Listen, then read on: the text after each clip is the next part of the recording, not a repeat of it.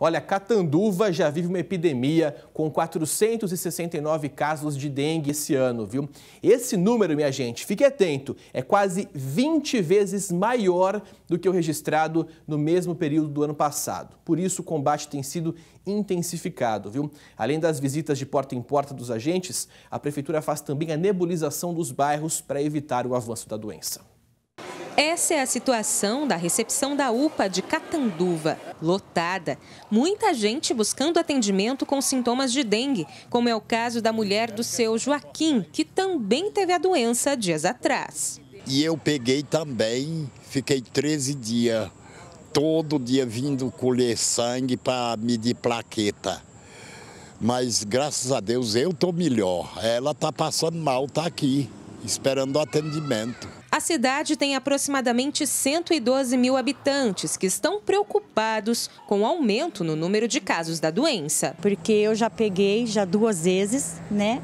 E é um processo muito doloroso, grave e sério. Aí eu fico preocupada porque eu tenho minha bisnetinha que está aí, né? Ela está com gripe. Tem essa, essa neta, tem essa outra. Então, né, a gente tem que se prevenir. Há 20 dias, o Lucas também sofreu com os terríveis sintomas da dengue. Fui trabalhar na segunda-feira sentindo dores, aí não, não tive condições nenhuma de trabalhar. Aí eu vim para o UPA na, né, na segunda-feira e na Aí me deram alta. Aí lá para quinta-feira que que constatou realmente que eu estava com dengue. A cidade já vive uma epidemia e para evitar o aumento no número de casos, a Secretaria Municipal de Saúde conta com a nebulização noturna para conter o mosquito. O serviço é feito em parceria com a SUSEM, a Superintendência de Controle de Endemias. Ao todo, sete bairros vão receber a nebulização, que é feita com três veículos. Essa ação tem como principal objetivo eliminar os mosquitos adultos. O veneno é, noturno só vai eliminar o adulto. Se nascer larvas todos os dias, se não eliminar o criador, vai aparecer, é, vai continuar tendo transmissão e vai continuar é, tendo problema com a dengue, né? Mas todo trabalho pode ser em vão se a população não colaborar. O povo tem que ajudar, a gente fala tanto sobre isso, né? Nossa, a gente tá, parece, fica até repetitivo falando das orientações para olhar o quintal, fazer a varredura em locais com água parada e mesmo assim o número não para de crescer.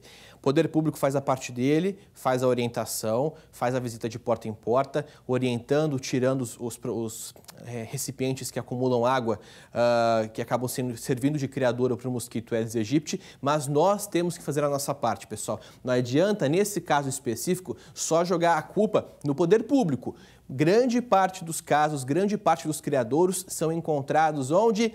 Dentro da nossa casa, dentro do ambiente de trabalho, dentro do quintal ali da nossa casa. Então tem que colaborar, gente. E quem também joga lixo na rua está colaborando para o avanço da dengue, porque aquele lixo fica exposto, aquela sacolinha que pode parecer inocente, aquela tampinha de garrafa que pode parecer inocente, mas ali com a água parada acaba sendo aí um criador e tanto para o mosquito Aedes aegypti. A gente tem Rio Preto como a segunda cidade do estado com o maior número de casos, são quase 10 mil registros aí e outros quase 7 mil em investigação. Muitas cidades da região estão enfrentando o problema, então você que está me acompanhando, meu amigo, tenha consciência e faça também a sua parte e vamos deixar de lado aí essa questão que a gente tem feito nos últimos anos, que é fazer vistas grossas. Pelo contrário, tem que estar tá sempre em cima. Se a gente está sempre em cima, o número vai, não vai subir na frequência ou na, na, rapidez que tem subido. Então, vamos fazer nossa parte justamente por conta da saúde pública aqui da nossa região, combinado?